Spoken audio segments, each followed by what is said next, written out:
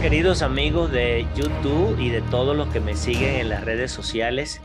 Si estás por primera vez en mi canal, quisiera agradecerte enormemente que nos regalaras ese like. No te cuesta nada, pero nos estarás ayudando enormemente. Igualmente si lo compartes y si te suscribes al canal, buenísimo.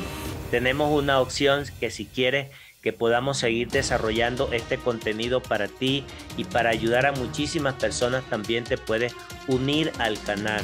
Abajo te dejo este, la descripción de cómo puedes hacerlo y simplemente dándole a la campanita y dándole a esa manito hacia arriba o dándole al botoncito azul donde te puedes unir. Gracias de verdad porque ya vamos camino a esas 90 mil suscripciones definitivamente sin su ayuda esto no hubiese sido posible. A partir de hoy vamos a estar entregando así contenidos cortos, pero temas reflexivos sobre este libro del señor Asit Ecker, que habla sobre lo que representa eh, tener bien claro los secretos de una mente millonaria. Y estaremos haciendo comentarios breves. Hoy voy a comenzar con el primer así tema que tiene que ver con las raíces y con lo invisible. Así que te invito a que lo puedas ver para que al mismo tiempo nos puedas hacer comentarios y si además de eso puedes agregar sugerencias o puedes decir cosas adicionales que puedan ayudar a otros, sabremos agradecértelo enormemente dentro de esta comunidad que es la comunidad de Henry J. Carvajal. Comencemos.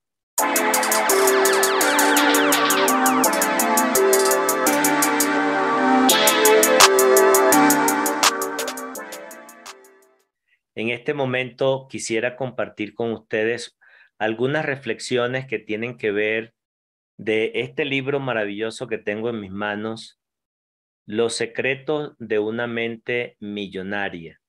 Y leyendo este libro, de verdad me llamó la atención una, una parte que leí en este libro y quisiera compartirla con ustedes que me siguen en el canal y también en las redes sociales. Eh, hay una frase que me llamó la atención y es la siguiente. Está en la página 25 de este libro, dice, las raíces crean los frutos. Definitivamente eso es verdad. Y cuando él la acompaña, Tate Ecker, sobre uno de los principios de riqueza que precisamente él empieza a enumerar en este maravilloso libro para todos aquellos que somos emprendedores y que estamos aprendiendo sobre este tema de la riqueza y cómo generarla, principalmente para aquellas personas que hemos nacido en hogares este, no muy privilegiados, eh, en donde lo que ha predominado es la pobreza, la carencia y la falta de recursos. Entonces, el hecho de que él, por ejemplo, dijera eh, inmediatamente de esta frase, enunciar este principio de riqueza que dice, si quieres cambiar los frutos, tendrás que modificar primero las raíces. Si quieres cambiar lo visible, antes deberás transformar lo invisible. Y esa es la reflexión que hoy quiero compartir con ustedes, como cualquiera persona que está en una situación de una situación crítica y que probablemente pueda estar viviendo momentos difíciles y que ha estado emprendiendo muchas cosas y las cosas no le resultan, muchas veces lo que ha pasado es que se nos olvida precisamente trabajar esa parte interna de nosotros. Y como dice el maestro Jim Rohn en muchísimas de sus conferencias, él dice una frase más o menos, él dice, mira, primero invierte en ti, primero trabaja en ti y después trabaja en tu negocio o en la actividad que estés haciendo. Es este, justamente este mismo principio es el principio de poder modificar las raíces, modificar esos hábitos que eh, llevamos a cuesta y que definitivamente, pues, la verdad, eh, venimos así eh, trayendo de arrastra con nosotros, que por mucho esfuerzo que hacemos, por muchas cosas que tratamos de hacer, no terminamos de ver el resultado. Y es porque ya sea el hábito del pensamiento que tenemos o la manera como estamos acostumbrados a ver algo y le damos una respuesta en base a lo que traemos adentro y al final de cuentas caemos en la trampa de repetir exactamente lo mismo. Y entonces, cuando se trata de cambiar raíces, se trata de hacer cambios profundos dentro de nuestro ser.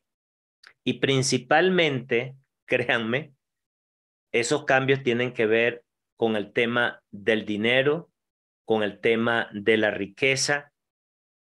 Cuando escuchamos, por ejemplo, expresiones que yo mismo la he dicho en muchas ocasiones, es que el dinero no es lo más importante.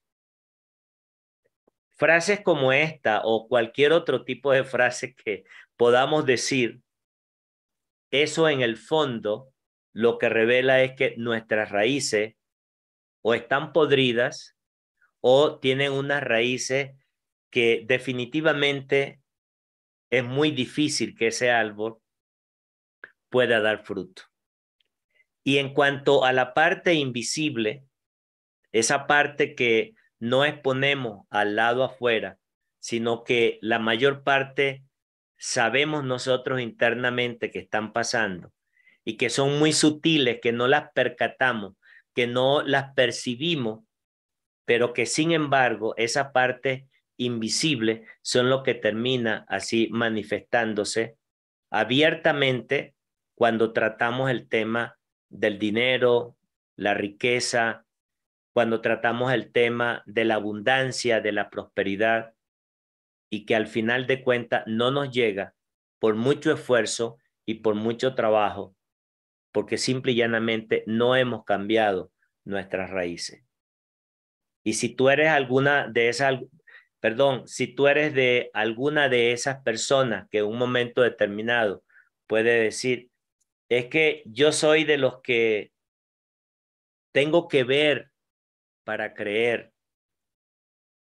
Te digo la verdad, vamos a tener que empezar a cambiar por completo ese tipo de idea y de pensamiento, porque es al revés.